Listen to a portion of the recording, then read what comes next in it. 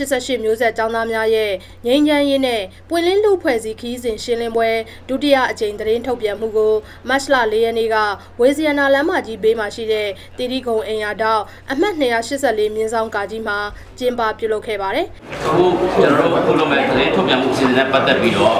ဘာကြောင့်သတင်းထုတ်ပြန်ရတယ်လဲ။ ဘာတွေကိုသတင်းထုတ်ပြန်မှာလဲဆိုတာနဲ့ပတ်သက်ပြီးတော့ကိုမင်းကိုနိုင်ကနေပြီးတော့အကောင်ဆုံးရှင်းပြပါလိမ့်မယ်နော်။ပွင့်လင်းသောလူဖွဲ့စည်းဆိုတဲ့ခေါင်းစဉ်နဲ့နယ်ခရီးစဉ်တွေတွားရောက်ခဲ့တဲ့အပေါ်ရရှိလာတဲ့အတွေ့အကြုံရည်ရွယ်ချက်နဲ့ရလက်တွေအကြောင်း88မျိုးဆက်ចောင်းသားခေါင်းဆောင်ကိုမင်းကိုနိုင်ကတက်ရောက်လာတဲ့သတင်းတောက်တွေကိုပြောကြားခဲ့ပါတယ်။ဒီရက်ပိုင်းထဲမှာကျွန်တော်တို့လှုပ်ရှားခဲ့တဲ့ညအထူးဖြင့်နယ်ခရီးစဉ်တွေပေါ့။အဲ့ဒီခရီးစဉ်တွေနဲ့ပတ်သက်ပြီးတော့ အတွေ့အကြုံနဲ့ကျွန်တော်တို့ရည်ရွယ်ချက်တွေရဲ့ရလက်ရဲ့ဆိုပြီးတော့သုံးမျိုးကျွန်တော်တို့ထုတ်ပြန်ပေးလို့ဖြစ်ပါတယ်အရင်ဆုံးရည်ရွယ်ချက်ကိုပြောပါမယ်။ဟုတ်ပြီအောင်ရမယ်။ပွင့်လင်းသောလူ့အဖွဲ့အစည်းဆိုပြီးတော့ခေါင်းစဉ်နဲ့ကျွန်တော်တို့ရဲ့ခြေတန်းကိုစတင်ပြောတာပါ။ပွင့်လင်းသောလူ့အဖွဲ့အစည်းဆိုတာအမောင်ခစ်ကဆိုတိမ့်စိတ်နေတဲ့အပိတ်ခံလူ့အဖွဲ့အစည်းမျိုးပဲလေ။ level သီးသီးမှာ လွတ်လပ်ခွင့်လင်းပြီးပြည်သူလူထုရဲ့အခမ်းကဏ္ဍဟာတကယ်တက်ပို့ပြီးတော့မြင့်မားလာတယ်အရေးပါလာတယ်ဆိုတဲ့ဒီချက်ကိုကျွန်တော်တို့ကရှင်းခံပါတယ်အဲ့တော့ပွင့်လင်းတဲ့လူ့ပဲစည်းလို့ပြောကြတဲ့အခါမှာနံပါတ်1ကပြည်သူလူထုရဲ့မျက်နှာဆုံးဖြတ်ချက်တွေကိုပေါ်ထုတ်ပြောဆိုရင်ပြည်သူလူထုရဲ့ရပိုင်ခွင့်အခွင့်အရေးတွေကိုအားလုံးပေါ်ထုတ်ပြောဆိုခြင်းတွေကစပါတယ် အဲ့ဒီအတွက်အဲ့ဒီရည်ရွယ်ချက်ကိုစပြီးတော့အဆောင်ထဲပေါ်တဲ့အနေနဲ့အင်းဒရာမျိုးကြီးတဲ့မှာကျွန်တော်တို့88မျိုးဆက်ကျောင်းသားများနဲ့အင်းဒရာမျိုးကန်လူလူနဲ့ခွင့်လင်းတော်လူဖွဲ့စည်းဆိုပြီးတော့စပြီးတော့ကျွန်တော်တို့တွေ့ဆုံမှုတွေလုပ်ခဲ့ပါတယ်အဲ့ဒီအတွက်ကြီးနေရာတက်ဖို့လည်းချို့နေရာပတ်သက်သွားပါတယ်အဲ့ဒီမှာရလက်ကိုပြောပါဆိုရင်မြို့ကန်လူလူရဲ့အဲ့ဒီမှာရှိနေတဲ့ အရက်ဖက်လူအဖွဲ့အစည်းတွေရဲ့မျိုးဆက်အစ်ဖြစ်တဲ့လက်ရှိကျောင်းသားတွေရဲ့နေအားကောင်းစွာနဲ့လာရောက်ပူးပေါင်းပြီးတော့ဆင်နွှဲတာတွေ့ရပါတယ်မတ်လတရနေ့ကတမရဦးသိန်းစိန်ရဲ့အစိုးရတက်တန်းတစ်နှစ်ပြည့်မိကွန်းဓာတ်ရိုက်ထုတ်လွှင့်မှုအစီအစဉ်နဲ့ပတ်သက်ပြီးကိုမင်းကိုနိုင်ကများစွာအပြုသဘောဆောင်တဲ့မိကွန်းဖြစ်တယ်လို့ဆိုပါတယ်။အဓိကကျွန်တော်ပြောချင်တာနိုင်ငံတော်တမရရဲ့မိကွန်းကိုတိုက်ရိုက်ထုတ်လွှင့်မယ်လို့ဆိုကြတဲ့ကကျွန်တော်တို့စိတ်ဝင်စားတာနဲ့စောင့်ပြီးတော့နားထောင်နေပါတယ်။ ခြုံပြောလိုက်မယ်ဆိုရင်တော့များစွာအပြုသဘောဆောင်တယ်လို့ရိုးရိုးသားသားပဲရှိနေပါတယ်။အဲ့ဒီထဲမှာကျွန်တော်ဆွေးနွေးမှာကအားလုံးပါဝင်နိုင်တော့နိုင်ငံရေးဖြစ်စဉ်ဆိုတဲ့စကားလုံးကိုကျွန်တော်အဓိကထားပြီးဆွေးနွေးပါတယ်။သမရာကြီးပြောတာရှိပါတယ်ကျွန်တော်သေချာလက်မှတ်ထားပါတယ်။နိုင်ငံတကာအတိုင်းဝိုင်းရဲ့နားလည်မှုတွေမြင်မာလာပြီဆိုတဲ့ဟာမျိုးပါ အဲ့ဒါတွေကဘယ်ချက်တွေကိုရှင်းတာလဲဆိုတာကျွန်တော်တို့ပြေးပါတယ်ပြည်တွင်းမှာနိုင်ငံရေးကျင်းသားတွေထုတ်ပေးတယ်သို့တော့နိုင်ငံရေးကျင်းသားတွေကြာရှိနေတာကြာရှိနေတယ်တခါကျွန်တော်တို့စီယုံလှုပ်ရှားခွင့်လွတ်လပ်ခွင့်တွေပေးတယ်သို့တော့တချို့နေရာတွေမှာအောက်ခြေတွေမှာဒီအဟောင်းတိုင်းမပြင်နိုင်သေးတာတွေရှိတယ်ဒါကကျွန်တော်တို့ဘက်ကအပြုသဘောနဲ့ပြန်ပြီးတော့အတိပေးတဲ့သဘောပါနောက်တစ်ခါသမလာကြီးကပြောတယ်အပြန်အလှန်နားလည်ယူကြည်မှု ဓာတ်လူရှိမှုနဲ့ပုံမျိုးရေးစီတွေသွားရအောင်ပြောတာတယ်ဒီစကားတွေကစက်တည်နေလာရှိတဲ့စကားပါကျွန်တော်တို့ကိုယ်တိုင်သမဏတယောက်အနေနဲ့ပြောမယ်ဆိုရင်တော့ရေးမယ်ဆိုရင်တော့ဒီထက်သားတဲ့မျိုးကိုရေးဖို့ခက်ပါတယ်သို့တော့တစ်ခုရှိပါတယ်ကျွန်တော်တို့ပြည်သူတွေရဲ့အတန်တွေကိုလည်းနားထောင်ကြည့်ပါတယ်အပြောနဲ့မပြီးဘူးဆိုတော့အလီပေးစကားမျိုးကျွန်တော်တို့ရပါတယ်။ကောင်းပါလေ။ကျွန်တော်တို့ကလည်းလက်ပြကြတာကိုပဲစာပို့ထားပါတယ် ရိုးသားမှုကိုခြေခံထားပြီးပွင့်လင်းရိုးသားစွာဆက်ဆံတတ်ဖို့ပွင့်လင်းလူဖွဲ့စည်းတရက်လိုအပ်တယ်ဆိုတဲ့အကြောင်းကိုကိုကိုကြီးကပြောဆိုလိုက်ပါတယ်ကျွန်တော်တို့အချင်းချင်းဆက်ဆံတဲ့အခါမှာဒီရိုးသားမှုအခြေခံနဲ့ဆက်ဆံတာအကောင်းဆုံးပါရေချေလက်ခံတဲ့ဟိုကြာကြာလဲကျွန်တော်တို့ဒါဆက်ပြီးတော့ပြင်ဆင်သွားနိုင်တဲ့ကိစ္စမျိုးပေါ့အဲ့တော့ကျွန်တော်တို့ကလည်းကြောင်းတဲ့ကြောက်ချမ်းပါကျွန်တော်တို့ ဆောင်ရွက်ချက်တွေအပေါ်မှာလည်းတစ်ချိန်လုံးကဆိုလို့ရှိရင်လူမျိုးရေးရှုတော့မှလွန်ကဲတဲ့အတွက်ကြောင့်ကျွန်တော်တို့ကရိုးသားသားကမ်းလှမ်းရတော့မှတို့ကျွန်တော်တို့ရိုးသားသားမမြင်ဘူးဆိုတော့နမူနာကျွန်တော်တို့ပြောရရင်2005ခုနှစ်ကျွန်တော်တို့ပြန်လွတ်လာတော့ဒီလူသားချင်းစာနာမှုဆိုင်ရာအထောက်အကူတွေကိုနိုင်ငံတကာကနေပေးအပ်ဖို့အတွက်ဒီလုပ်ငန်းအပေါ်မှာနိုင်ငံရေးအာဏာခွဲဝေတာတွေနိုင်ငံရေးအယူဆအငြင်းပွားတာတွေဘေးဖယ်ပြီးတော့ကွန်မွန်ဂရောင်းအဖြစ်နဲ့အ ဒါတက်မတော်အင်အားစုရောဒီမိုကရေစီအင်အားစုတွေရောအားလုံးပူးပေါင်းဆောင်ရွက်ကြဖို့ကျွန်တော်တို့ဖိတ်ခေါ်ခဲ့ပူပါတယ်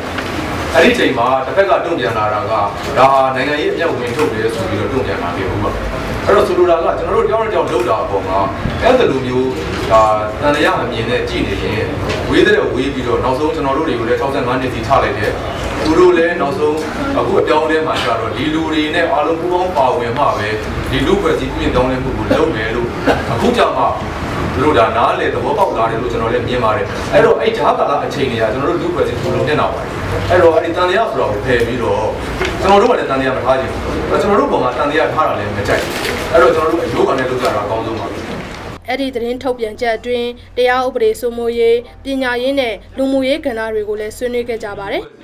အားလုံးကအများပြည်သူရဲ့သဘောဆန္ဒနဲ့ညီပြရန်ထားတဲ့ဥပဒေတွေနဲ့တရားဥပဒေတွေနဲ့ အညီအညွတ်ဖြစ်ဖို့ဆိုတော့တရားဥပဒေစိုးမိုးလို့တရားဥပဒေစိုးမိုးရေးပြည်စောရတဲ့ဖြစ်စဉ်တော့အခက်အခဲတွေအများကြီးရှိပါတယ်။ဘာဖြစ်လို့လဲဆိုတော့တရားဥပဒေစိုးမိုးရေးကတိကျပြည်စောလို့ရတဲ့ကိစ္စမဟုတ်ပါဘူး။တရားဥပဒေစိုးမိုးရေးပြည်စောတဲ့တစ်ဖက်မှာအဲ့ဒီတရားဥပဒေစိုးမိုးရေးကိုထောက်ပံ့ဖြစ်နိုင်တဲ့နိုင်ငံရေးစနစ်ကိုရှိဖို့လိုတယ်။စီးပွားရေးစနစ်ကိုရှိဖို့လိုပါတယ်။ဆရာနဲ့ကျောင်းသားကြားမှာအဓိကရှိရတဲ့အကြောင်းအရာတစ်ခုရှိတယ်အဲ့ဒါမေတ္တာတရားပဲ ဆရာနဲ့ကျောင်းသားကြားထဲမှာပျောက်နေတဲ့အရာတစ်ခုရှိတယ်မဆိုကြပါဘူးဗျာကျောင်းသားတွေကခုနောက်ပိုင်းဆရာတွေကိုမလေးစားကြတော့ဘူး ဆရာတွေကလည်းကျောင်းသားတွေကိုအလေးမထားကြတော့ဘူးအဲ့တော့အဲ့အလေးထားခြင်းနဲ့လေးစားခြင်းဆိုတော့ဆိုတာမေတ္တာတရားပဲအဲ့ဒီချီနှောင်မှုကိုပြန်ခိုင်မာအောင်ချီဖို့လိုပါတယ်ဒါဆိုလို့ရှိရင်ဘယ်လိုပညာရေးစနစ်လို့ဆိုချက်မှတ်လို့ရပါတယ်ပရိုက်တာဆိုတဲ့နေရာမှာအလုံးသိပြီးသားပါပညာရေးတွေလုပ်တာရှိတယ်ကြားမှာရေးရှိတယ်ပြီးတော့နောက်ဆုံးသွေးလှူတာရှိတယ်နာရေးတာရေးကိုကြီးတဲ့အဖွဲ့တွေရှိတယ်ပါနိုင်တဲ့လူပါပါလိမ့်မယ်ခုနကစာကြည့်တဲ့အစားကအဲ့ဒါရှင်းနေရှိရတယ်ပေါင်းလိုက်ပါပေါင်းလိုက်တဲ့အားလုံးရဲ့အပေါင်းဟာ ပွင့်လင်းတဲ့လူအဖွဲ့အစည်းဆိုတဲ့ခေါင်းစဉ်အောက်ကိုရောက်သွားပါတယ်အဲ့ဒီနောက်တိုင်းရင်းသားဒေသတွေမှာဖြစ်ပွားနေတဲ့ပြည်တွင်းစစ်မီးတွေရပ်တန့်ဖို့နဲ့ပတ်သက်ပြီးအပြည့်အခက်ရက်စဲရေးသဘောတူညီချက်တွေပြုလုပ်နေတဲ့အစိုးရရဲ့ငြိမ်းချမ်းရေးတည်ဆောက်မှုလုပ်ငန်းစဉ်တွေနဲ့ပတ်သက်ပြီးကချင်ဒေသခရီးစဉ်တွင်လိုက်ပါခဲ့တဲ့ကိုမြအေးနဲ့ကိုပြုံးချိုတို့ကတာဝန်ယူဖြေကြားခဲ့ပါတယ်စစ်မှတ်ဖြစ်နေတဲ့ဒေတာတွင်းမှာအမြန်ဆုံးငြိမ်းချမ်းရေးရရှိရေးဖြစ်ပါတယ်ငြိမ်းချမ်းရေးတောင်ကစစ်မှန်တဲ့ငြိမ်းချမ်းရေးရရှိရေးဖြစ်ပါတယ် အဲ့ဒီစစ်မှန်တဲ့ငြိမ်းချမ်းရေးကိုချင်းကပ်ဖို့ကလည်းနိုင်ငံရေးရပြုစုဆွေးနွေးအဖြေရှာနည်းနဲ့သာကြီးဆောင်ရွက်ခြင်းတဲ့ဆန္ဒကိုကျွန်တော်တို့တပိတ်တပတ်ရခဲ့ပါတယ်အဲ့တော့အဲ့ဒီဆန္ဒတွေနဲ့ပတ်သက်ပြီးတော့ကျွန်တော်တို့ကအများတူညီနိုင်တဲ့အချက်လက်တွေကိုစုပြီးတော့ကျွန်တော်တို့ဒီ ပြင်ဆင်ပြီးတော့မှအားလုံးရဲ့စံတာတွေပေါင်းစုထားတဲ့ပညာချက်ဖြစ်ပါတယ်။အဲဒီပညာချက်ကိုလည်းကျွန်တော်တို့ဒီစိတ်ရောက်တဲ့အချိန်မှာကျွန်တော်တို့ဝေပြီးသွားပါပြီ။အဲဒီတော့ရရှိခဲ့တဲ့စဘောစံတာတွေကကျွန်တော်တို့ကနေပြီးတော့လက်ဦးမှုရအောင်လုပ်ခဲ့တာလည်းမဟုတ်ခွဲနဲ့သူတို့နဲ့ကြည်ကြည်လေးလေးညှိနှိုင်းဆွေးနွေးပြီးပါအားလုံးညှိနှိုင်းဆောင်ရွက်ပြီးပါစူးစီးထားတဲ့ဘောကွန်မောင်းစံတာတွေကိုကျွန်တော်ဒီဆောက်နိုင်ခဲ့ပြီဖြစ်ပါတယ်။ပြီးတော့အဲ့ဒီဒေသမှာရှိတဲ့ဆောင်ရွက်ခဲ့တဲ့ကိစ္စတွေပတ်သက်ပြီးတော့ကိုမြရဆက်ပြီးတော့ရှင်းပြပြီးပါမယ်။ရစရေးပါငြိမ်းချမ်းရေးမဟုတ်ပြပါဘူး တကယ်ငြိမ်းချမ်းရေးအများကြီးလို့သိရတယ်ဖြစ်ပါတယ်အဲ့တော့ကျွန်တော်တို့ပြောတာကလည်းကျွန်တော်ကြီးညာချက်တွေကို frame ချပေးခဲ့တဲ့ကိုမင်းကိုနိုင်တဲ့လွတ်လပ်ချက်ကြားနာတဲ့ဓာတ်လူချင်းဆိုအခြေခံထောက်တဲ့ထောက်တဲ့သုံးခုချပေးခဲ့ပါတယ်အဲ့ပုံကကျွန်တော်ဆက်လို့လို့ပြီးတော့ဒါကအစစ်စစ်ဆိုပါတယ်ကျွန်တော်တို့ရဲ့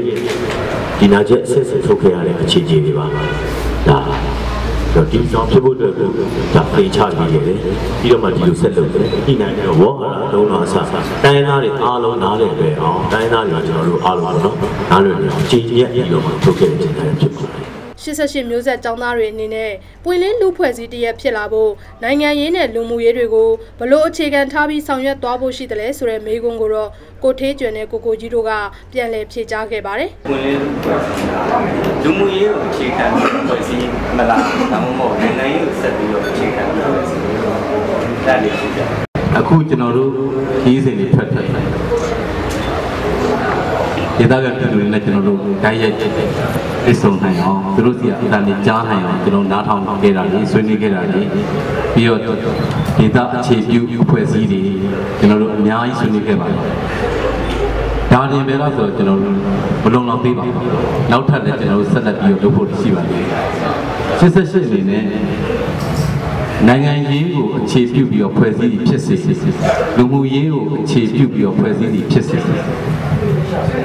တခုခု ဒီနှစ်ခုစလုံးလုံးဖြစ်ပါစေကျွန်တော်တို့ဒီဒီဘက်ခေတ်နိုင်ငံရေးမျိုးဆက်ပြတ်ပြတ်မဖြစ်အောင်နိုင်ငံရေးခါးဆက်ပြတ်ပြတ်မဖြစ်အောင်ကျွန်တော်တို့စ조사ပြီးတော့ရက်တည်တာဖြစ်တယ်ပြီးတော့ကျွန်တော်တို့မှာတာဝန်ရှိတယ်လို့လည်းကျွန်တော်တို့ယုံကြည်ပါတယ်အထူးကပေးခြင်းနဲ့ကျွန်တော်တို့သတင်းစကားတော့ကျွန်တော်တို့ရဲ့အနေနဲ့ရိုးဆက်တစ်ခုလုံးကိုကိုစားပြုနိုင်မယ်စူးစီးမှုမျိုးတွေကို စူးစီးမှုမျိုးတွေကိုကျွန်တော်ဆက်လက်ပြီးတော့လှုပ်ဆောင်ဆောင်မှာဖြစ်တယ်လို့ပဲကျွန်တော်ပြောချင်ပါတယ်ဟောဖေချာတာကကျွန်တော်ဒီဂျာပြက်ရွေးကောက်ပွဲမှာ78မျိုးဆက်နဲ့ကျွန်တော်ပါဝင်ထားတာမရှိပါဘူး အဲ့တော့ရေရှည်နိုင်ငံရေးဖက်တမ်းမှုနဲ့ပတ်သက်ပြီးတော့ကျွန်တော်တို့ကဒီထဲကနေကျွန်တော်တို့78မျိုးဆက်ထဲကနေပြီးတော့နိုင်ငံရေးစောက်ချပြီးလုပ်တဲ့သူတွေရှိလာပါလိမ့်မယ်လို့ပဲကျွန်တော်တို့ပြောထားပါတယ်ရွေးကောက်ပွဲဘယ်သူဝင်မယ်ဟလာဟိုဘယ်နှယောက်ဝင်မယ်ဆိုတာတွေကိုကျွန်တော်တို့အခုချိန်ထိဘယ်သူကမှလည်းပြောကြားထားခြင်းမရှိသလိုကျွန်တော်တို့ချင်းချင်းကြားထဲမှာလည်းအဲ့ဒါကိုတိကျဆုံးဖြတ်ထားခြင်းမရှိသေးပါဘူးအဲ့ဒီသတင်းထုတ်ပြန်မှုခမ်းနားကိုကိုမင်းကိုနိုင်ကိုကိုကြီးစတဲ့88မျိုးဆက်ចောင်းသားကောင်းဆောင်တွေနဲ့သတင်းမီဒီယာအသီးသီးမှသတင်းတောက်တွေတက်ရောက်ခဲ့ကြပါတယ်။နောက်တစ်ခုကမျိုးဆက်အစ်မျိုးဆက်အဟောင်းတွေပေါင်းပြီးတော့နောက်ကျောင်းမလဲတည်စရာနော်နောက်တစ်ခါအားလုံးတဲ့သူကအင်္ဂလိပ်လိုပါသလုံးသုံးထားတာပါ common ground ဆိုတော့အားလုံးသဘောတူညီတဲ့အချက်လက်တွေကိုရအောင်ရှာပြီးတော့လက်ပြောရမယ်ဆိုတာအဲ့ဒါတွေအားလုံးကကျွန်တော်တို့ကမ်းလာတဲ့လက်ကိုတနွေးတထွေးပြန်ပြီးတော့ကြိုးဆုံးပါပါဒါကအားလုံးပူးပေါင်းပါအောင်ဆိုတဲ့အပိုင်းကိုပြောတာပါ ပွင့်လင်းလူဖွဲ့စည်းမိတ်ဆက်ပွဲရဲ့ပထမအကြိမ်သတင်းစာရှင်းလင်းပွဲကိုတော့ကချင်ဒေသခရီးစဉ်ကနေအပြန်ဖေဖော်ဝါရီလ28ရက်နေ့ညနေ6နာရီချိန်ကရန်ကုန်လေဆိပ်မှာပြုလုပ်ခဲ့ပါသေးတယ်ရှင်။ဒီတိုင်းပြည်မှာနေတဲ့ဒီကချင်ကရကရချင်းရှမ်းမွန်ရခိုင်ဗမာအားလုံးကတိုင်းရင်းသားတွေပါပဲ။တော့တိုင်းရင်းသားလို့ပြောလိုက်လို့ချင်းကျွန်တော်တို့ကဒီကျွန်တော်ရန်ကုန်မန်းပြတူကသူတို့အထက်စီးနဲ့တုံးလုံးတယ်လို့သူတို့စိတ်ထဲမှာခံစားရတယ်။ဒါတွေကကျွန်တော်တို့အလေးဂရုပြုရမယ့်အချက်တွေ